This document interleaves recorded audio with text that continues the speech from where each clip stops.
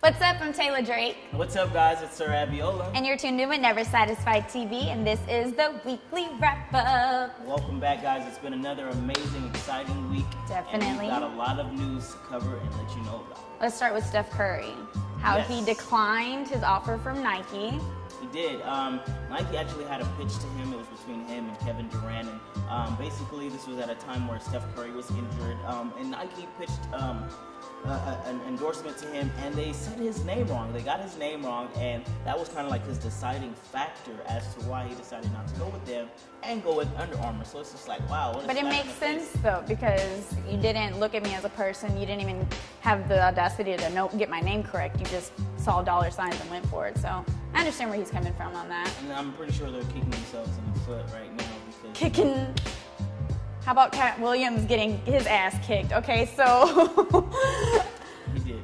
he got what did he get jumped? No, he got beat up by one person. Oh. a 14 year old. Um, apparently, I don't know what the altercation was about, but he punched a 14 year old kid in the face.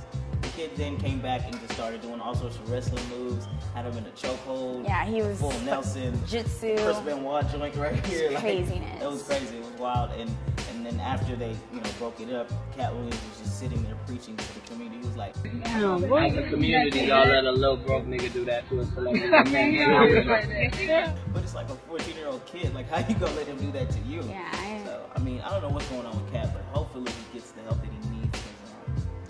doesn't seem to be taking a yeah a little spiral there. If you watch the reunion of Love and Hip Hop, you've seen how Peter had a little baby mama triangle going on now. He had his ex baby mama pregnant, and his current wife actually announced that she is now pregnant again after previously having an abortion on the show. So now Peter has a total of 10 kids. Exactly. His pull-out game is non-existent. Terrible. Oh my What? God. Ten kids? Like, Gotta get really neutered. nutted in him ten, probably Cut it. than ten times. Cut it. Yeah, Cut he, it. he needs to get a vasectomy because that's ridiculous. That's a lot of semen. I mean, he just popping them out. See me just pow, pow, pow. Yeah, he needs to just go ahead and just of cut it. let's get to the story of the week. Story of the week. It's gonna be a lot of semen flying everywhere.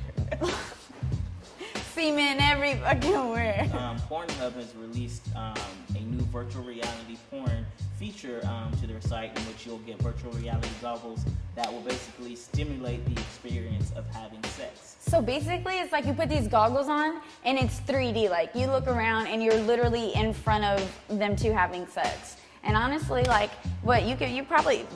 That's what Pornhub. They probably have it to where it's like you're doing it yourself. Like all you gotta do is just look down in the goggles. just- I don't know. It just interesting, like, listen. I'm excited. like, you know- this takes this takes sex toys to a whole nother level. They have like this little butt, little rubber butt, and they could just get a real life feeling. This is it's a movie. It's a sex story. It's a movie.